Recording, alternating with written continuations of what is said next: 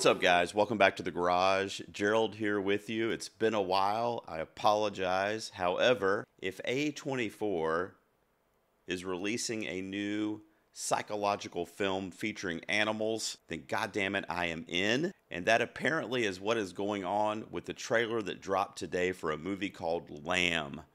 I haven't seen it yet. I'm going to watch it with you guys and then give you my A24 fanboy thoughts at the end. Let's watch the trailer for Lamb. And play. Ooh, Noomi Rapace.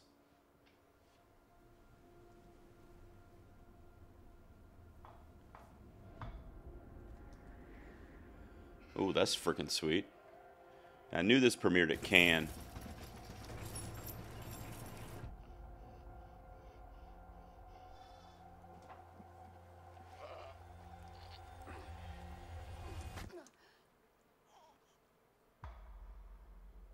Hear that score?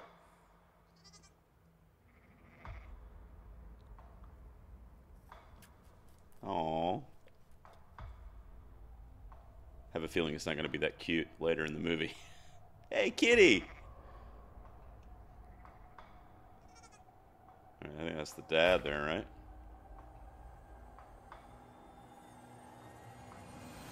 Whoa.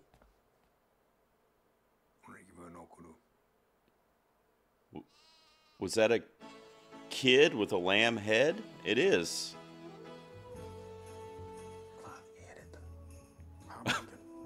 what is this?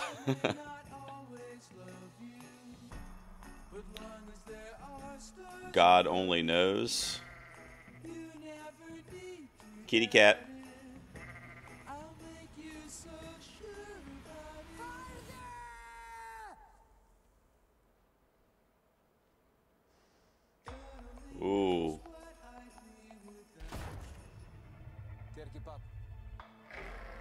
It's not a child.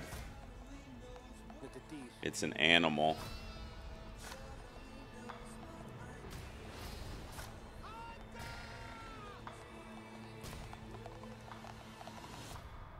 Blood.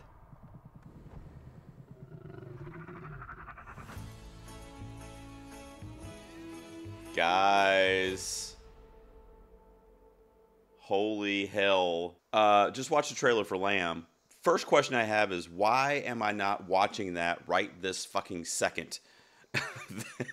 that looks like it was tailor made for your boy. Um, okay, so to give you my thoughts on the trailer there, first of all, I love A24. No mystery. I think everything they do is pretty innovative and pretty unique.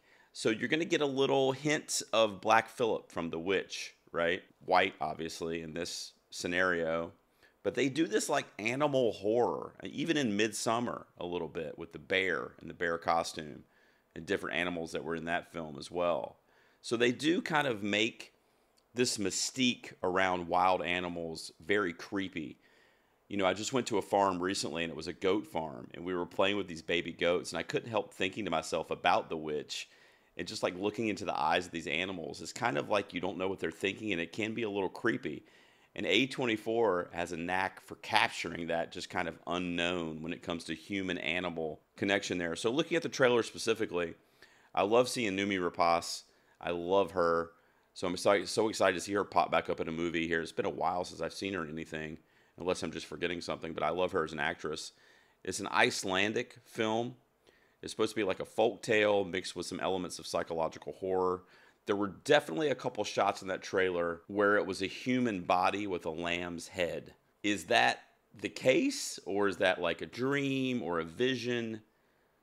It could be any of those things. You know, A24 is not going to hold back when it comes to the to the like absurd and just kind of crazy storytelling.